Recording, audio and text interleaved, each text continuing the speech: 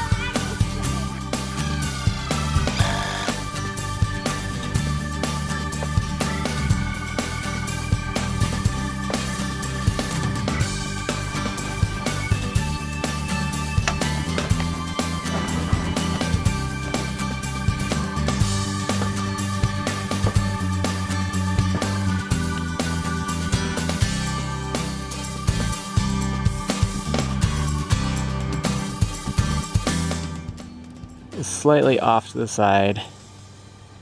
It must not be quite perpendicular down here.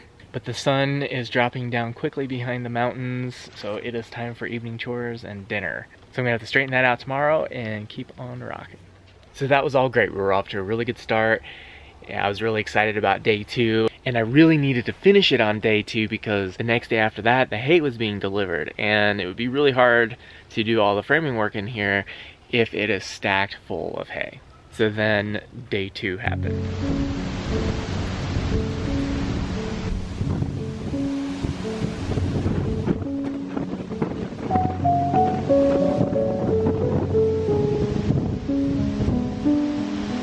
Day two of framing the structure is not going well. We're having a really epic windstorm and the interior framing piece I put up, uh, I wasn't using good enough strong ties. They actually snapped. The whole thing has come down. It's not going well.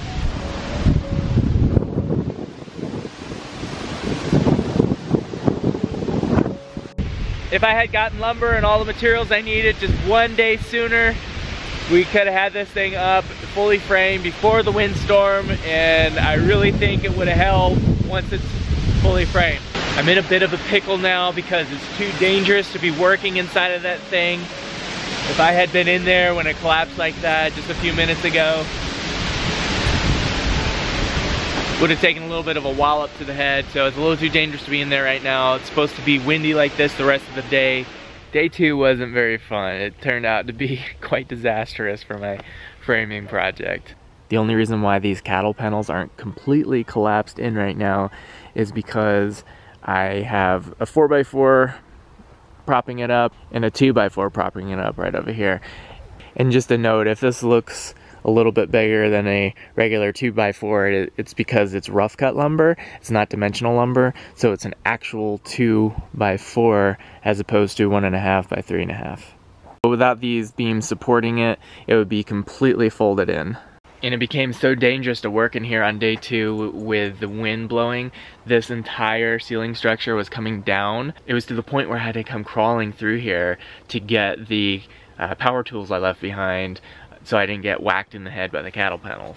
When I first built the structure, I got a lot of criticism about the design.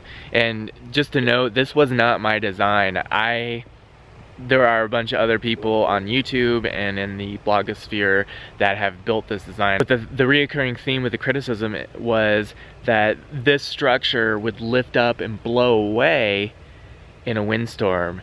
And I was really confident it, it wasn't gonna do that because all the T-posts are pounded into the ground and then the cattle panels are clipped with fencing clips to the T-posts and I also use fencing staples to uh, connect the cattle panels to the pallets as well. And I was right, it didn't take off like a kite like a lot of people suggested it would. However, the cattle panels did collapse, so. What you doing, little buddy? Coming out to see what's going on. Oh, what's going on? Mm, I don't know. A lot of, a lot of the stuff flew everywhere. You have your beach toys over there that blew in the storm a couple days ago, huh? Yeah, Yes, but I wonder how that broke itself. The wind blew it in. How did it blow it in? Really strong winds.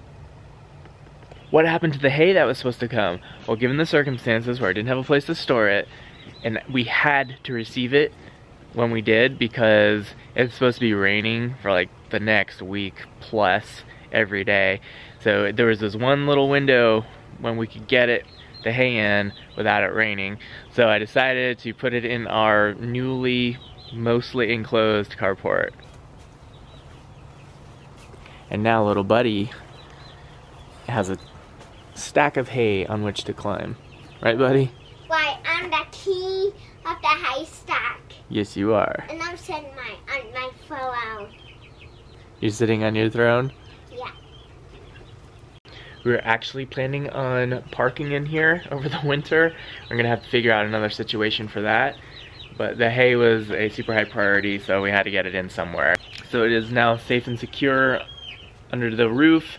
And now with the sides that we have up mostly going around, it's gonna keep most of the weather out. This hay behind me is about three tons and we are getting another three tons when the weather clears up, probably in a couple weeks. And we're actually gonna be able to squeeze it in right in front of here because I'm going to be using hay for the next couple weeks before it comes so there will be a little bit more room than what's in here now plus that only takes up about half the real estate on this side of the carport and just like we're renaming the milking parlor we probably need to rename this structure it's certainly turning more into a barn now than it is a carport I believe the future of what was the milking parlor and then what was gonna be the hay shed for the winter. I think we're going to use it to provide housing for some of the livestock. This may be the winter sheep shelter once I get it framed out. And yes, I'm still going to be framing it this out and we'll be taking you guys along with us on the project as we get this thing complete.